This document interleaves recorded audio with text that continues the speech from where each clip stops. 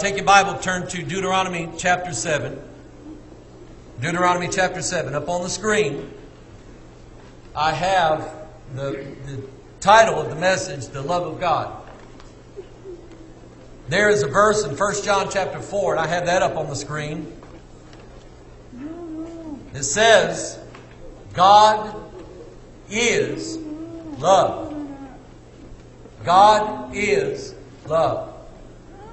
Now, I believe that, and I spent a long time trying to comprehend that and, and its deepest meaning in my mind, and I never, I don't think I ever attained to it. I don't think I get it.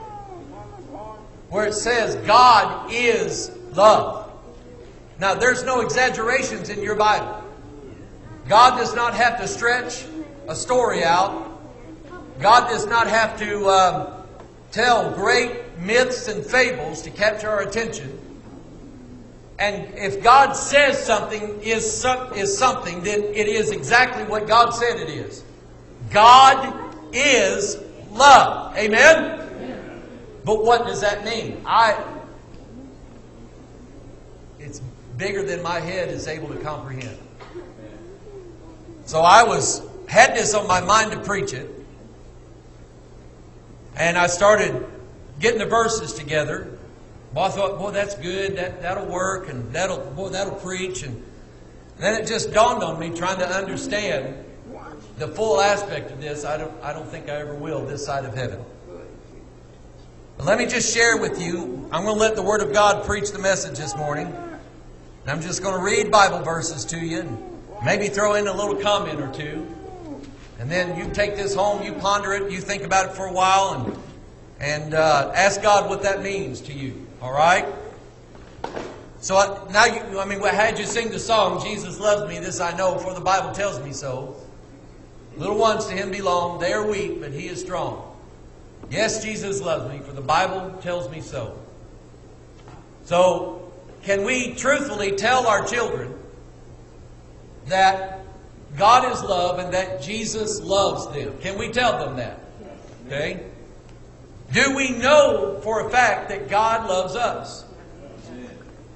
Now, here's what I'm going to ask you. Have you ever had somebody that loved you one day and turned away from you the next? That's tough, isn't it? Let me put it, let me get a little deeper. Have you ever loved somebody at one point in life and then turned your back on them and said, I, I, stay away from those people? No. It happens.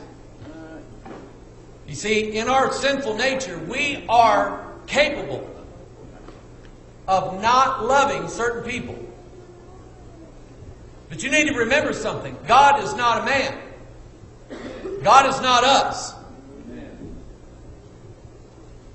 And God, if He says that He loves the world, what that means is God so loved the world. I can't say it any better than John 3:16 says it. Can't say it any better. And love uh, is defined in a certain way in your Bible. And I want you to comprehend that, how God views love. All right? Deuteronomy chapter 7, verse 6. God said, For thou art an holy people unto the Lord thy God. He's talking to Israel. The Lord thy God hath chosen thee to be a special people unto himself above all people that are on the face of the earth. The Lord did not set his love upon you, nor choose you, because ye were more in number than any people. For you were the fewest of all people. Verse 8 answers the question why did God why did God set his love upon his people? Verse 8 answers the question because he loves them. Now, I want you to ponder that. It'd be like, it'd be like if your child or your grandchild comes, crawls up in your lap and says, Mom, do you love me? Well, yes, I love you. Well, why do you love me? Because I love you. And that may sound silly, but look at your Bible. The Lord did not set his love upon you nor choose you because you were more number, number, but because the Lord loved you.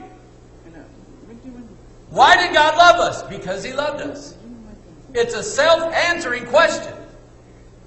And again, the thought of that is way higher than my mind is able to comprehend, but I just believe it. Now watch this. But because the Lord loved you, and because he would keep the oath which he had sworn unto your fathers, hath the Lord brought you out with a mighty hand, and redeemed you out of the house of bondmen from the hand of Pharaoh king of Egypt. Know therefore that the Lord thy God, he is God, the faithful God, and which keepeth covenant and mercy with them that love him and keep his commandments to a thousand generations. Why did God choose Israel? Because he loved them. Because he loved them.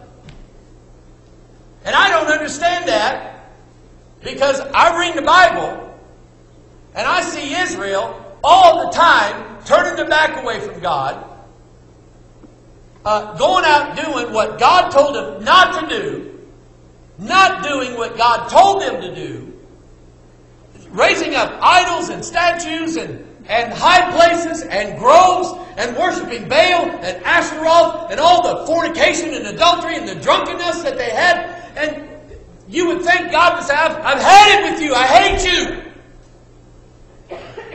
But God, the Bible says, loved Jacob before Jacob was ever even born.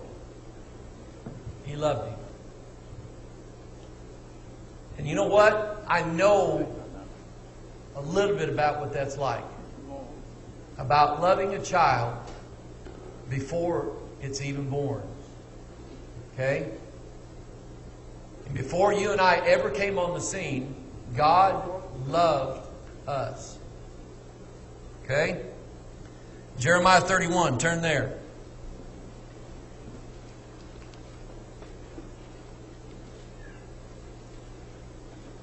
How long does God love us?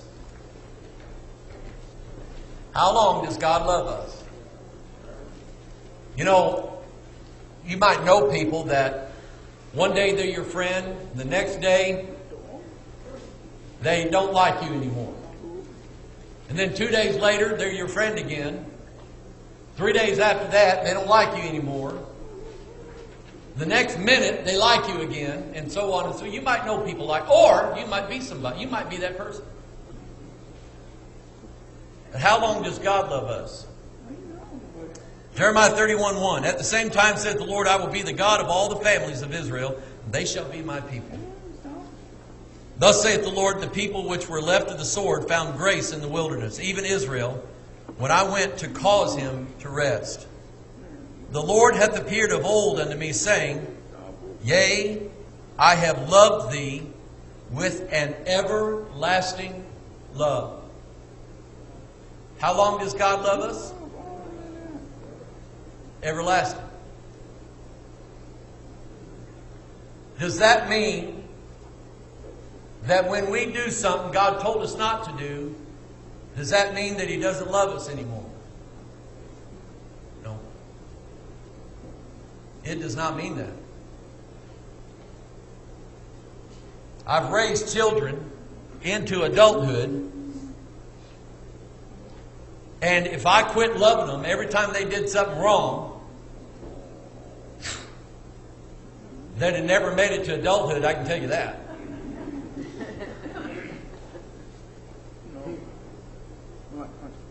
But when they did something wrong, boy, it made me mad, or it hurt me,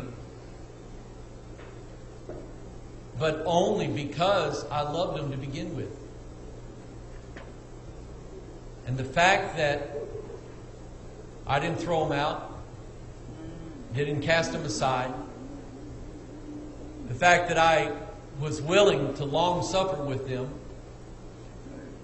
still feed them, still clothe them, still tuck them in at night, still buy them things, candy and soda and whatnot, still take them on little trips, go camping with them, go swimming with them, or whatever, still do things with them. I do it because I love them.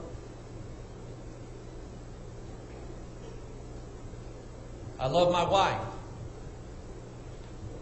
We don't always see eye to eye on everything. And there's sometimes certain days we just don't get along very well. But I love her. I knew a guy, his wife was as mean as a rattlesnake.